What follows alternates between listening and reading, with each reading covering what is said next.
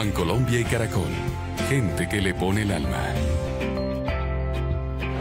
Comenzamos una nueva emisión de la cápsula mundialista de JC Informa Televisión. Juan Carlos es autista atípico. Es un magazine de noticias positivas y con pasión ha logrado sacar adelante su canal de televisión en redes sociales para destacar, entre otros temas, el talento de la población con condiciones diferentes. Y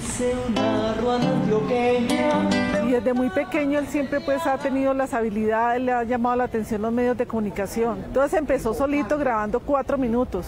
JC Informa le ha dado la posibilidad a muchos jóvenes con autismo de mostrar sus cualidades, algunos de ellos músicos que a través del programa han logrado hasta conseguir trabajo.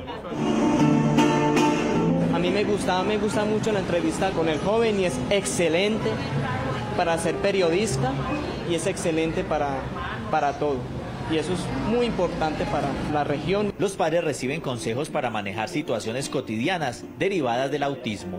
No es una enfermedad, es una condición especial que tiene, este tipo de personas diferente a otros, otros niños. ¿En qué es diferencia? Comunicación.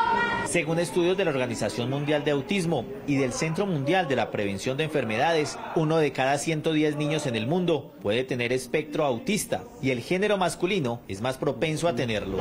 Hola, buenos días.